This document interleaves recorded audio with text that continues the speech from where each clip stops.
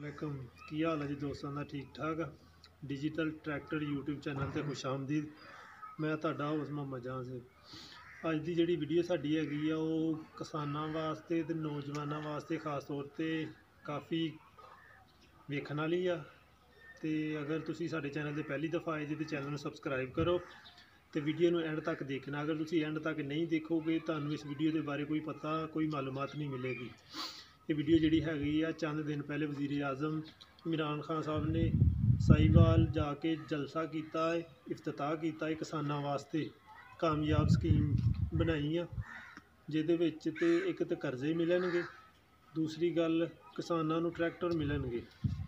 ਉਹਦਾ ਤਰੀਕਾਕਾਰ ਕੀ ਆ, ਉਹ ਅਸੀਂ ਤੁਹਾਨੂੰ ਸਾਰੀ ਡਿਟੇਲ ਦੇ ਨਾਲ ਦੱਸਦੇ ਹਾਂ ਅਸੀਂ ਕੱਲ ਵੀ ਵੀਡੀਓ ਬਣਾਈ ਸੀ, ਲੇਕਿਨ ਕੁਝ ਉਹਦੇ ਵਿੱਚ ਉਹ ਗੱਲਾਂ ਸ਼ਾਰਟਕਟ ਵੀਡੀਓ 'ਚ ਬਣਾਈਆਂ ਸੀ, ਲੇਕਿਨ ਨਹੀਂ ਸੀ ਅਸੀਂ ਕਹਿ ਸਕੇ।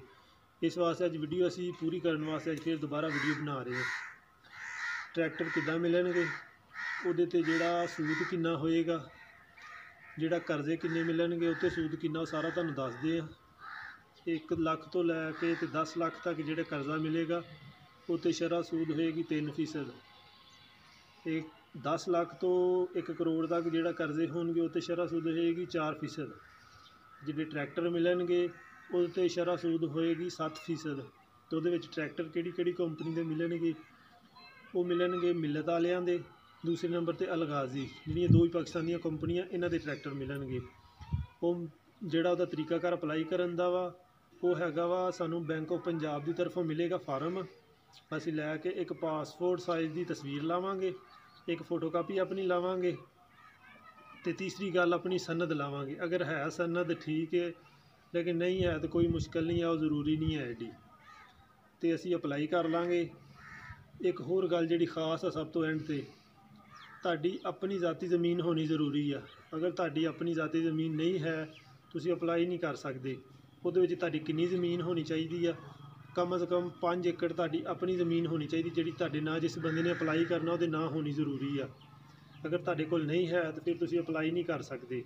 ਥਾ ਤੇ ਜਿਹੜੀ ਆਖਰੀ ਪੁਆਇੰਟ ਆ ਸਾਡਾ, ਉਹਦੇ ਵਿੱਚ ਉਹਨਾਂ ਉਮਰ ਦੀ ਹੱਦ ਸਾਨੂੰ ਦੱਸੀ ਆ 21 ਸਾਲ ਤੋਂ ਲੈ ਕੇ 45 ਸਾਲ ਤੱਕ, ਲੇਕਿਨ ਉਹਨਾਂ ਕੁਝ ਰਿਲੀਫ ਦੇ ਕੇ ਵਿੱਚ 21 ਤੋਂ ਲੈ ਕੇ ਉਹਨਾਂ 65 ਸਾਲ ਤੱਕ ਦਾ ਕਿਹਾ ਗਿਆ ਹੈ ਉਹਨਾਂ ਕਿਹਾ ਜਿਹੜੇ ਬੰਦੇ ਨੇ 21 ਤੋਂ ਲੈ ਕੇ 65 ਸਾਲ ਤੱਕ ਉਹ ਅਪਲਾਈ ਕਰ ਸਕਦੇ ਨੇ। ਤੇ ਇਹ ਨੌਜਵਾਨ ਸਕੀਮ ਆ, ਖਾਸ ਤੌਰ ਤੇ ਨੌਜਵਾਨਾਂ ਵਾਸਤੇ। ਕਾਮਯਾਬ ਨੌਜਵਾਨ ਸਕੀਮ ਆ। ਦੂਸਰੀ ਗੱਲ ਜਿਹੜੀ ਕਿਸਾਨਾਂ ਵਾਸਤੇ ਬੜੀ ਅਹਿਮ ਆ, ਦੋਨੇ ਇਹਦੇ ਤੋਂ ਫਾਇਦਾ ਉਠਾ ਸਕਦੇ ਨੇ ਤੇ ਇਹਦੇ ਡੇਟ ਜਿਹੜੀ ਆ, ਚੰਦ ਦਿਨ ਆ, ਇਸ ਤੋਂ ਬਾਅਦ ਐਕਸਪਾਇਰ ਹੋ ਜਾਏਗੀ ਤੇ ਸਾਨੂੰ ਚਾਹੀਦਾ ਇਹਦਾ ਜਲਦੀ ਤੋਂ ਜਲਦੀ ਅਸੀਂ ਫਾਇਦਾ ਉਠਾ ਸਕੀਏ। ਓਕੇ ਜੀ ਅੱਲਾ ਹਾਫਿਜ਼।